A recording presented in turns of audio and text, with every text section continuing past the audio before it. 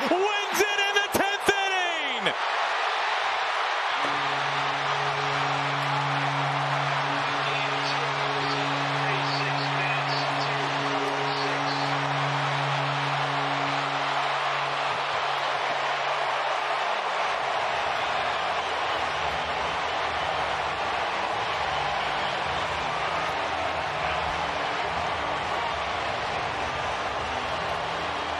They'll all go home happy tonight. How about that?